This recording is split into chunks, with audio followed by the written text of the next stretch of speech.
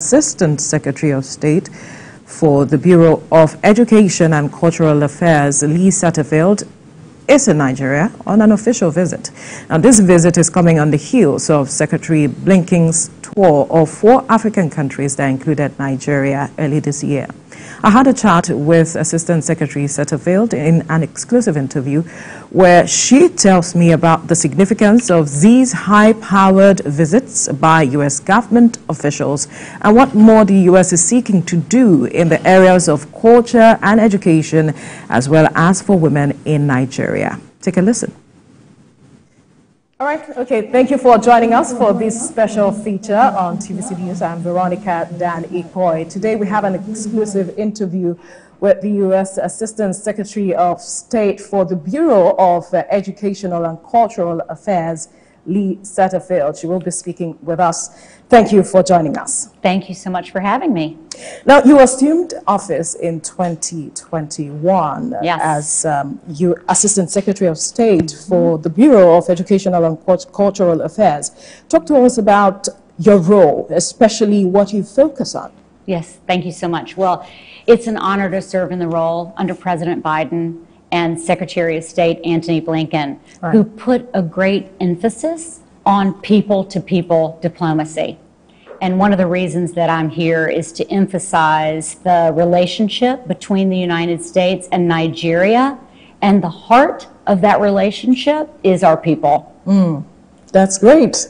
That's great. And I believe that um, you're already getting some results from your time the past few days that you have been here now. Yes, yes, yes. I landed yesterday morning and have had an amazing visit. It's my first time to Nigeria. Really? Yes. So yes. what's your experience with the people? Oh, I'm overwhelmed by the people that I've met and every story that I've heard and experience that I've had. I spoke with a group of students just earlier today at the University of Lagos where we opened up a new what we call Window on America, which is an American space where students can come and learn new skills and learn more about studying in the United States. I'm here to announce a couple new programs in the right. creative industry, which we can talk about in a minute. But right. I think generally I'll just say that um, there's a warmth to the people here, and I'm drawn to every story that I've heard and every individual that I've met. It's been a beautiful experience so far. I would have loved to ask which of the stories stand out for you, but because of oh. time, yes, that would be interesting to hear. But because yeah. of time, yeah. let's quickly talk about the high yeah. level visits that we have been getting from the US to Nigeria. Okay. And we're wondering what really is driving this. Yeah.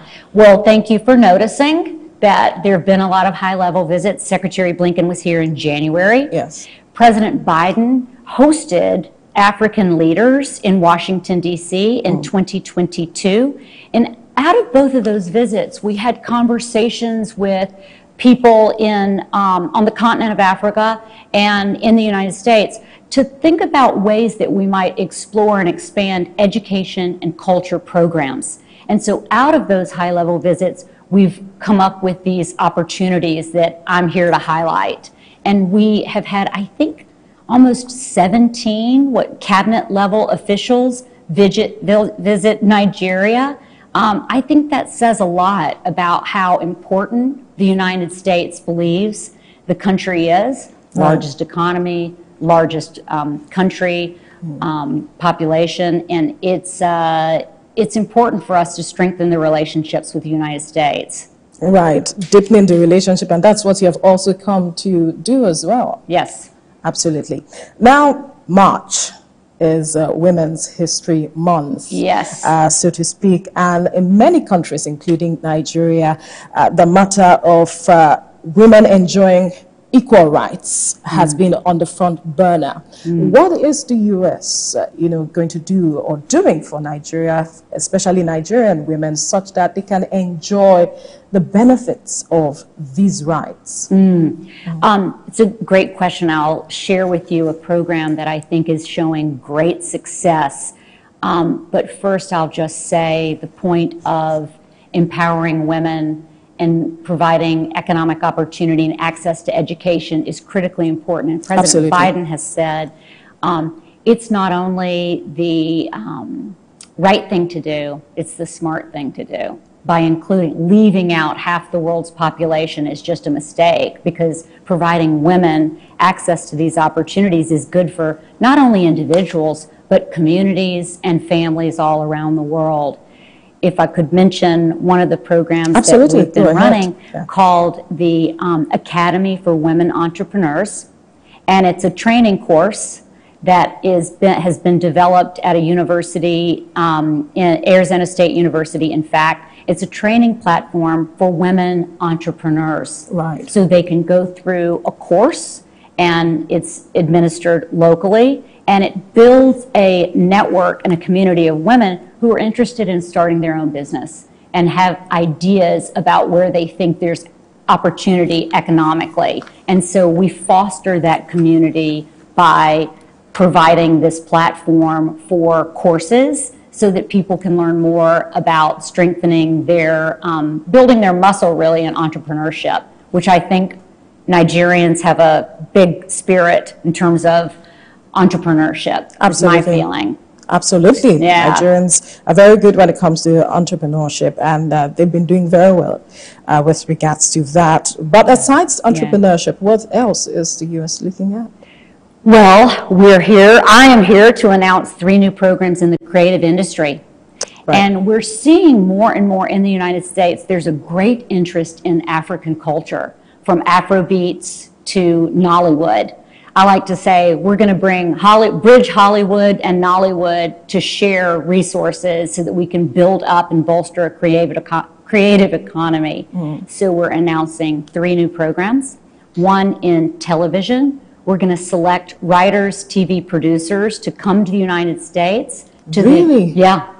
To, in this cool, to um, be mentored by American writers and producers at USC, the University of Southern California, the Cinematic Arts, which is just an amazing program and just produces incredible talent. So we're going to bring writers from Nigeria to come to the United States, be mentored by American writers and producers, and help them establish television shows. So we'll see them through production, through the different phases of the creative process, and then um, create shows. That's one. Two, we're going to launch a music program. I was in LA at the Grammys and I saw Burna Boy perform and amazing um, African artists who are just hitting the scene. And the United States is very interested to hear more. So we're partnering with the Grammys to bring African music industry professionals to LA to be mentored by Recording Academy members hmm. so that they can basically build up this network and field of, of people who are not just the artists themselves, but the people who are behind the business of music. Hmm. And then the last program in the creative space is launching, we're going to launch a community college initiative, which will bring Nigerians to the United States to study in vocational and educational training in community colleges in the field of creative industries. Beautiful. Fantastic. I'm very excited about it. I am too. Although I'm not a musician, Good. but I Good. wish I'm one right now to take um, advantage of all of these opportunities that Thank you have you. reeled out. But which is your favorite? Uh, Oh, Nigerian musician. terrible. um, I mean, I just saw Burna Boy, and I thought he was in, incredible. To be able to see him perform live was beautiful. Right. Beautiful. Right. So let's quickly move to another um, matter, talking about uh, U.S. Uh, supporting the protection and preservation of cultural Hmm. heritage across uh, Nigeria through initiatives such as U.S. Ambassador Fund for Cultural Preservation. Why is the U.S. government passionate about pres- preserving cultural heritage Hmm. in Nigeria and around the world? It's a good question. And um, really, it boils down to um, protection and respect for individual culture and the story of people that you learn and know about through culture. We want to help preserve that culture of Nigeria. We've invested over $1.3 million over the past decade in protecting and helping to digitize with museums so that there's a record of important artifacts and also stop the illicit trafficking of items that are happening that happens all over the world. We yes. have a cultural property agreement with Nigeria that we signed um, recently. And we don't have that many in the world. We have about 30. We're trying to build and do more. That cultural property agreement allows the United States to bring the whole of government approach to stopping trafficked items coming into the United States. Hmm. So we're able to work more cooperatively within the United States and directly with Nigerian officials to uh, return items when they're stolen to stop it from happening to begin with. Right. So going back to the previous question you uh, you responded to talking about musicians and all mm. of it. Mm. Uh, how are they to take advantage of these opportunities? Because it's playing back in my mind, and mm. I'm wondering. How do they get to they hear of this, but taking advantage? Yeah. How do they go? How would they go about yeah, it? Yeah, yeah, Well, um, first of all, thank you for giving us the platform to say directly to all of your um, listeners and those who are tuning in to your television station. This is how they find out about the opportunities right. that we're sharing that story and you're bringing it to people directly. But people can also go on all of our social media platforms. It's at US in Nigeria and it lists all the different opportunities.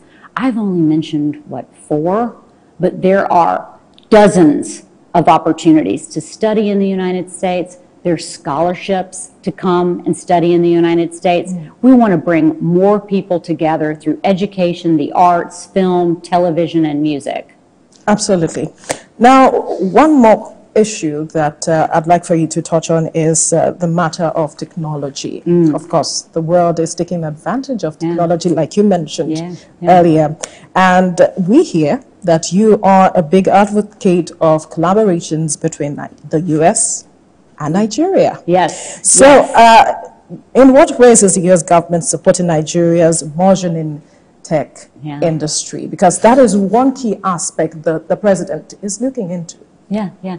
Well, first, I'll just point out our American private sector in the investment that we see U.S. companies making in Nigeria. Google, Meta, Microsoft, all coming here to invest in Nigeria. I think that says a lot about the country. Mm. And it's an important area of collaboration. The field is changing so rapidly with AI and all the various, we're just all struggling to keep up. We've got to figure out how to work together to use technology as a force for good. And I think we'll be able to do that together. Right. Now, talk to us how strategic a partner Nigeria is to the US in all of this education, culture that you have mentioned or spoken about. Yeah, it is incredibly strategically important. Geopolitical force, Nigeria. And I think you can feel it between the United States and Nigerians, there's already a connection. But from my perspective and the role that I play, I want to build on that and create more opportunities and more pathways to shared economic success. Hmm. Great. And on that note, we must thank you, Assistant Secretary of State for Cultural and uh, Educational Affairs, Lee Satterfield, we must thank you for your time. Thank you for speaking with us. It's been an insightful conversation, and I believe that every viewer out there that believes there's something to take out of this conversation will go and look for how well they can take advantage of all you have said. Thank you once again. I hope so. Thank you. Thank you. And with that is a wrap on the conversation. Thank you so much. Until the next one, bye for now. Africa in Nigeria, in Lagos.